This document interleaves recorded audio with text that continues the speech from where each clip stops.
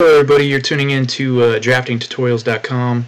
My name is Casey Kepley and today I'm going to be covering a video on more graphic analysis and looking at actual drawings um, and, and basically taking the drawing and uh, figuring out a few things about the drawing as well as constructing a few different things uh, to get some answers.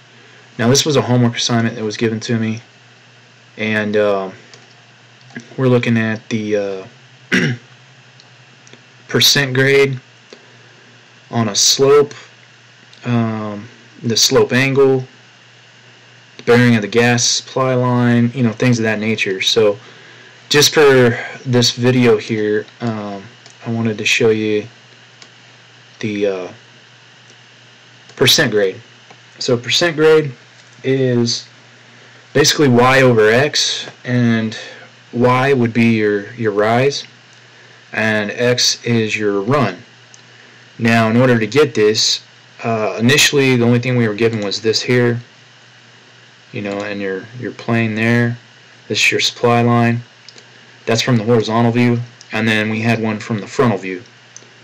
And so in graphic analysis, basically, in order to get the uh, correct angle and correct slope, you have to create an auxiliary view or an, an edge view basically that's true length in the uh, the horizontal plane. So we had we're not going to use this down here as our distances uh, to find the uh, percent grade. So we're not going to use the rise, which would be this here, and the run. We're not going to use that because that's not true length. So we have to find true length first. So we're going to go to the horizontal plane, use this line here and here um, and you always draw a perpendicular out so that you can get your uh, your true length. Um, this is also called the folding method. So what we did is we just drew construction lines here here here.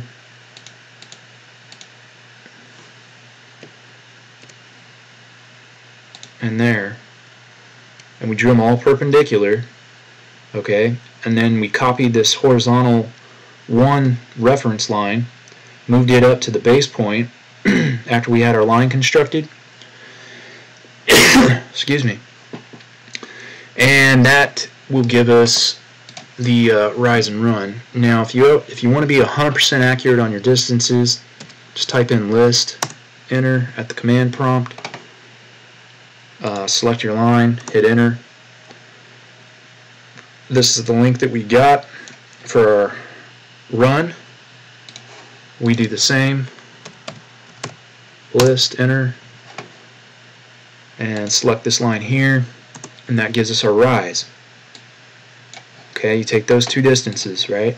So this is your y, and this is your x. So you take this value up here and divide it by your run, and that gives you your percent grade which comes out to 25.6082%. Um, now, based on our instructions for this uh, lab, he had us carry them out to four decimal places, so that's what we did. Um, I don't know that that's going to be necessarily the case in every single situation. If not, and let's say you want to go two decimal places, just type in units, hit enter.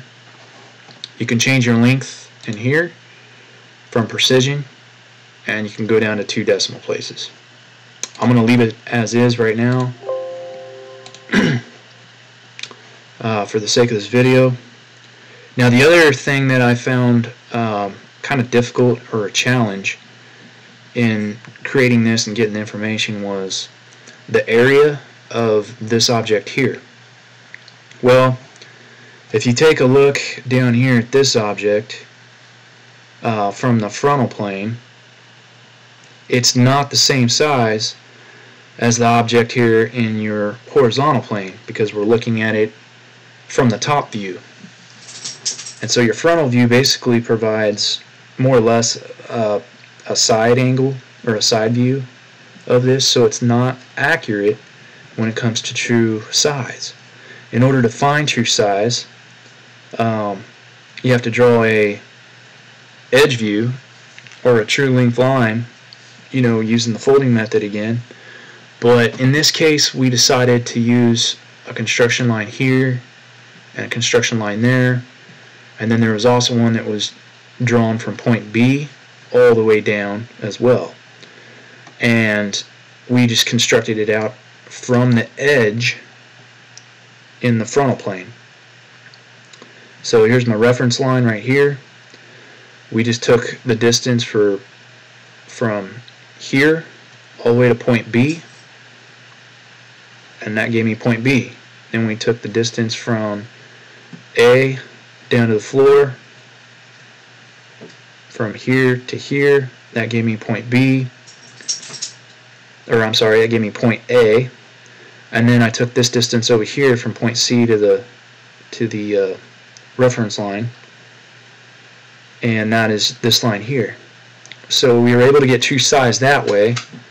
And then I measured measured the area for this uh, object. So it, it gets pretty difficult to to see what's going on here because there's so many different construction lines going on but that's uh, that's basically how I got those um, measurements.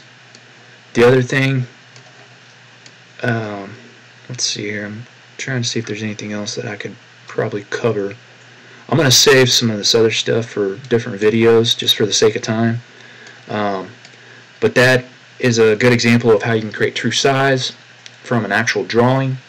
And if you're dealing with like supply lines and, and up you know drawing looks similar to this how you can get the uh, the rise and run and create yourself a true line uh, based off of the information you're given. So that's all I have for today. Um, you're tuning in to draftingtutorials.com uh, if you like what you're seeing go ahead and, and like and share the video or uh, subscribe to the channel because I'm covering uh, different techniques and strategies that I'm learning in school and I'm shooting videos on them that way as I progress I can go back and reference this stuff at a later date. Um, and you can as well.